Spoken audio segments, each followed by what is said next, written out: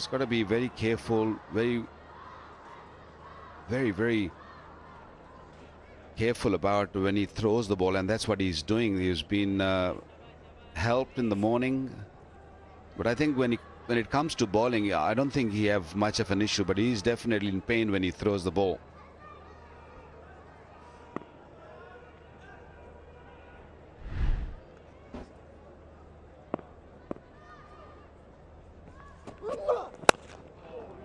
The problem is there's just no respite. The, these test matches come thick and fast. We've got three days in between the end of this game here